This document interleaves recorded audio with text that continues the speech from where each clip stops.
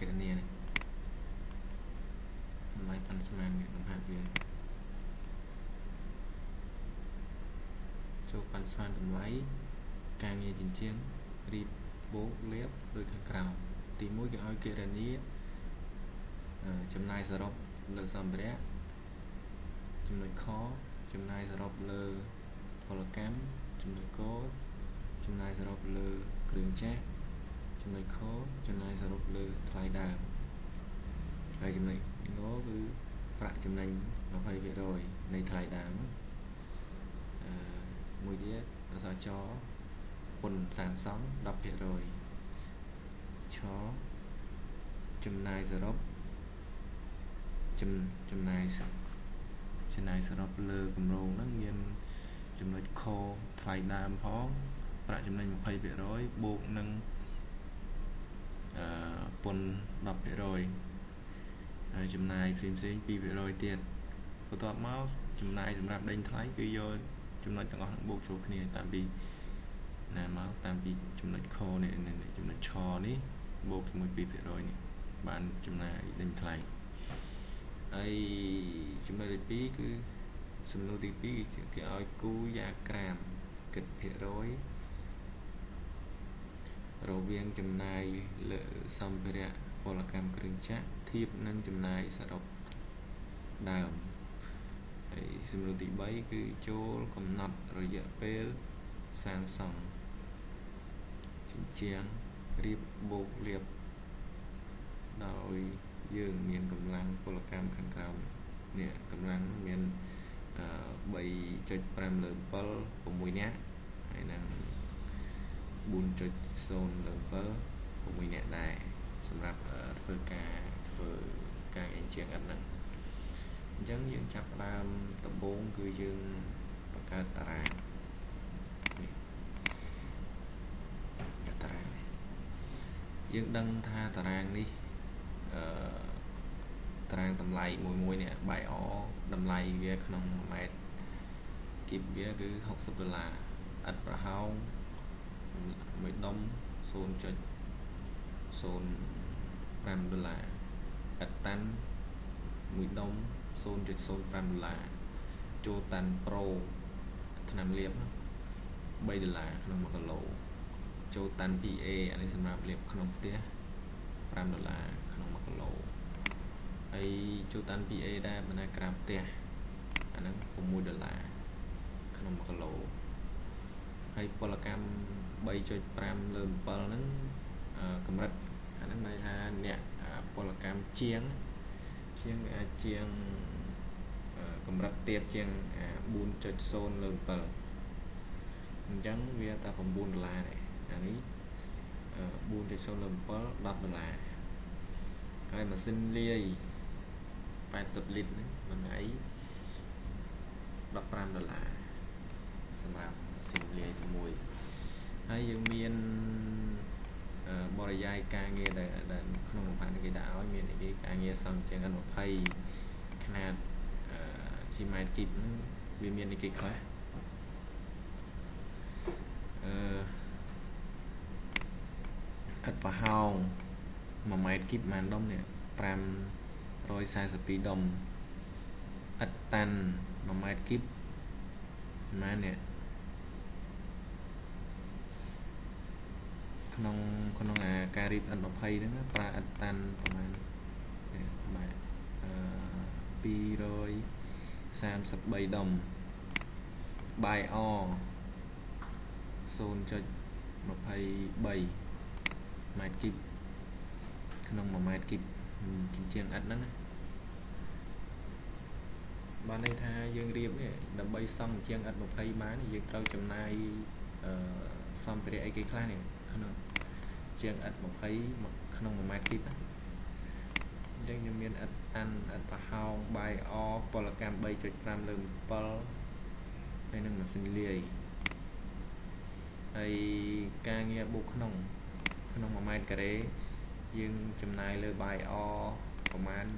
នេះបាយអគឺជាម៉ែត្រការ៉េជាម៉ែត្រគីបអឺពលកម្មម៉ាស៊ីនលាយ ហើយការងារមួយទៀតលាបក្នុងមាន Jotan Pro ហើយបាន PA លាបក្នុងហើយ Jotan នេះអានេះគេហៅ sealer ហ្នឹងហើយលាបតំណប់នេះបានលាបសម្រាប់ហើយពលកម្មហើយការងារបូកក្រៅបាយអមានបាយអមានពលកម្មហើយនឹងមានម៉ាស៊ីនលាយបាយអការងារលាបក្នុងមានអឺម្សៅតំណប់ ថ្នាំលាបក្រៅហើយនឹងពលកម្មលាបអញ្ចឹងយើងដឹងពីបរិមាណក្នុង1ម៉ែត្រការ៉េនៃថ្នាំលាបនៃការងារបូកក្រៅការងារលាបក្រៅក្នុង1ម៉ែត្រការ៉េយើងចំណាយអស់ប្រហែលអ្នកជួតាន់ប្រូហ្នឹងប៉ុណ្ណឹងគីឡូជួតាន់ PA ក្រៅផ្ទះហ្នឹងប្រហែលគីឡូនេះប៉ុណ្ណេះគីឡូហើយពលកម្ម3.5លើ7ហ្នឹង ប៉ុណ្ណេះថ្ងៃប៉ុណ្ណេះអ្នកក្នុងមួយថ្ងៃឬក៏អឺប៉ុណ្ណេះថ្ងៃក្នុងម្នាក់ដូចគ្នាຂະຫນາດវាជាថ្ងៃអញ្ចឹងមានន័យថាក្នុងម្នាក់ហ្នឹងធ្វើប៉ុណ្ណេះថ្ងៃឬក៏ក្នុងមួយថ្ងៃធ្វើប៉ុណ្ណេះ0.06នាក់អញ្ចឹងយើងមានតារាងនឹងហើយយើងនឹង អាចគណនាបានណាគណនាថាការងារចិញ្ចៀនអត្តបណៈបរិមាណមានຂະណាតមានអីហ្នឹងអញ្ចឹងយើងសរសេរទី1យើងត្រូវបង្កើតតារាងបង្កើតតារាងដូចនឹងតារាងគេចាស់នេះមានតារាងបរិយាយហ្នឹង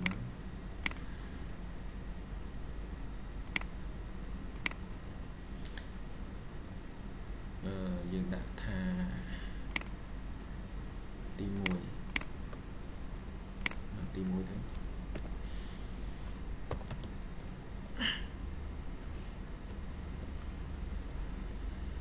បានស្មានតម្លៃ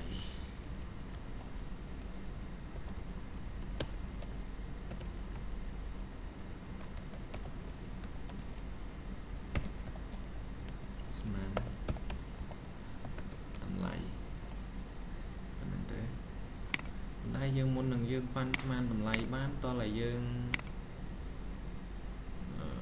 យើង save វាសិន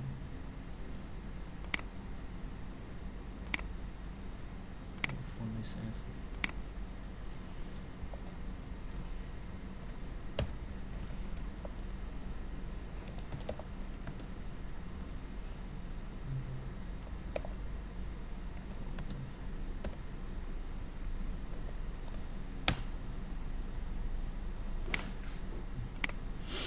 save យើងប៉ាន់ស្មានតម្លៃបានតោះតែយើងគិតបរិមាណដែលត្រូវធ្វើសិនទី1គេដឹងគេចង់ដឹងពីបរិមាណអីគេនេះបរិមាណឥតក្នុង1ម៉ែត្រគីបឥតគិតជាម៉ែត្រគីបអញ្ចឹងយើងគិតបរិមាណឥតប្រហែលម៉ែត្រគីបការងាររៀបឥតហ្នឹង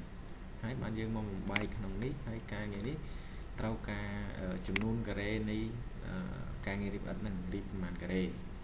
អញ្ចឹងយើងរកបរិមាណនឹងឡើងវិញបានយើងអាចទៅគណនាបាន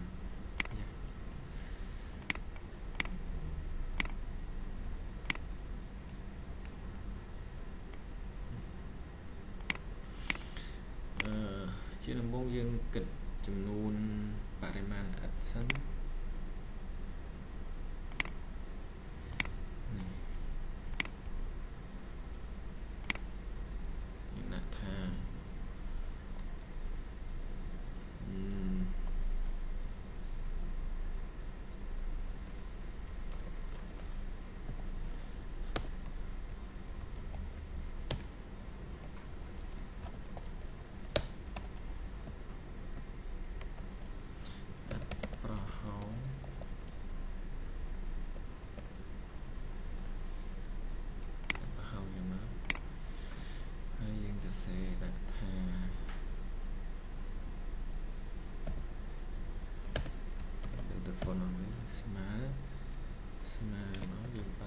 ចក2តមកយើងដាក់ថា5ម៉ែត្រ5ម៉ែត្រនេះគុណនឹង2ហើយបូកទៅនឹងប្រហែល10ម៉ែត្រនេះគុណនឹង2ដែរ10ម៉ែត្រគុណនឹង2ហើយយើងបិទវងចោលឡើងវិញហើយគុណនឹងកម្ពស់របស់វាម៉ាន កម្ពស់របស់វាគឺអឺនេះ3ម៉ែត្រ2កម្ពស់3ម៉ែត្រ2ហើយយើងដកទៅនឹងបរិមាណប្រហោងប្អួចប្រមាណខ្លះនេះ3ម៉ែត្រគុណនឹង2ម៉ែត្រកន្លះ3គុណនឹង2.2ហ្នឹង2កន្លះ 3ម៉ែត្រគុណនឹង2ម៉ែត្រកន្លះបន្ទាប់មកបូកទៅនឹងអាប្រហោងប្អួចទូចទូចនេះទៀត1ម៉ែត្រ2គុណនឹង1ម៉ែត្រ2បូកនឹង1ម៉ែត្រចុច1.2គុណនឹង1.2 1.2គុណ1.2ប៉ុន្មាននេះចំនួន4ប្លោះគុណ4ប្លោះហើយបាត់វងចោលវិញហើយបាត់វងចោលមួយទៀត ហើយ enter ទៅយើងឃើញបរិមាណនេះគិតជាម៉ែត្រការ៉េដែលយើងត្រូវការម៉ែត្រការ៉េ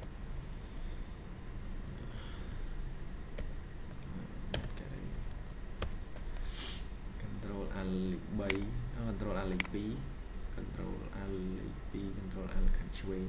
យើងបានគិតម៉ែត្រការ៉េ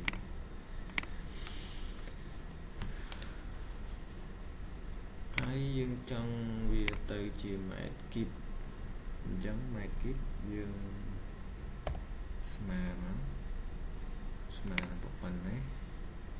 គុណទៅនឹង0.2កម្រាស់ជាជាឥតយើង2តាក់ឃើញគិតជាម៉េចគីបយើងបានຂະຫນາດជាម៉ែត្រគីបនិងបានຂະຫນາດជាម៉ែត្រការ៉េនៃបរិមាណ ជាជាងការងាររបស់យើងបន្ទាប់មកយើងទៅបង្កើតតារាងយើងបានដល់ប៉ុណ្្នឹងយើងបង្កើតតារាងបានណាបង្កើតតារាងទី1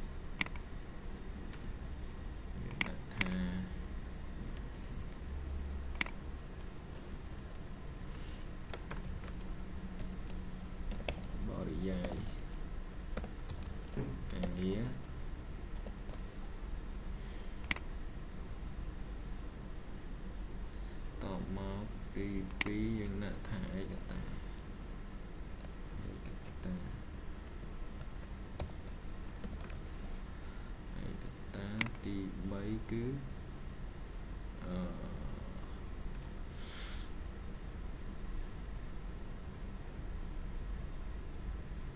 ធនធាន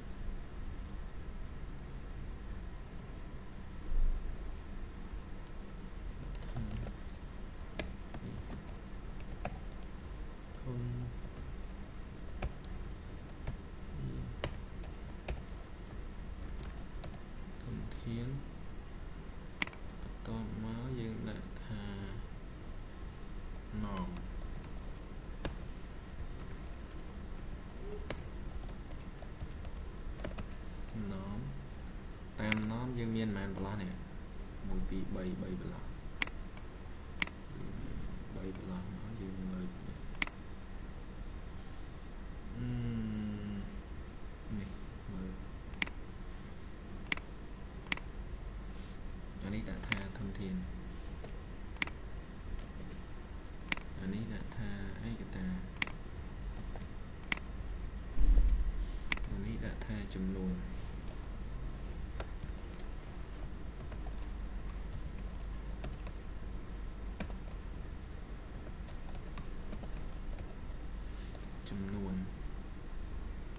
មកយើងដាក់មួយ ទៀតគឺ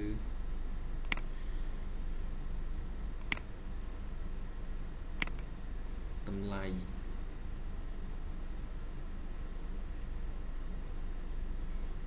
តម្លៃឯកតា